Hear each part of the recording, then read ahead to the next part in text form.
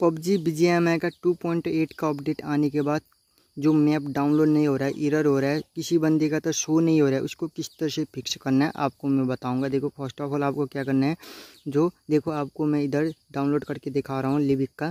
देखो मेरा अभी कितना जल्दी डाउनलोड होगा, देखो कितना फास्ट हो रहा है।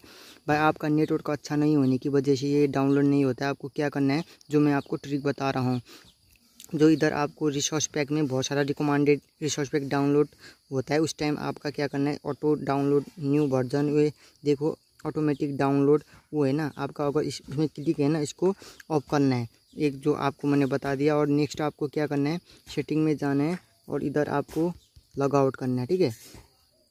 मैं लॉग आउट करूँगा लॉग आउट करने के बाद इधर आपको देखो रिपेयर सेक्शन का ऑप्शन है रिपेयर सेक्शन करना है आउट इन रिपेयर करना है और ओके करने के बाद आपका हंड्रेड एम का और एट्टी एम का अपडेट आ सकता है।